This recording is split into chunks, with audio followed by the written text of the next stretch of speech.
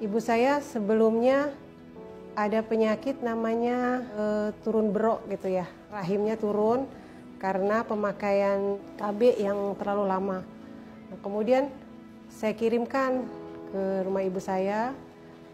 E, waktu itu hanya beberapa butir saja, 20 sampai 30 butir. Alhamdulillah ada perbaikan gitu ya. Jadi e, rahimnya itu tidak agak naik gitu.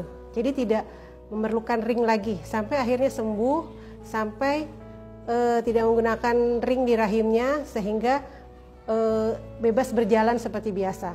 Dan ibu saya juga ada bocor di jantungnya. Jadi setelah diperiksa karena ibu saya waktu sempat sesak, kemudian dirawat, terus diperiksa semuanya ternyata ada bocor di jantung dan harus dioperasi. Uh, sempat masuk ICU juga. Tetapi karena sudah berumur ya, berusianya sudah tua, saya e, berikhtiar untuk tidak melakukan operasi untuk ibu saya. Tetapi saya ikhtiar dengan lutena.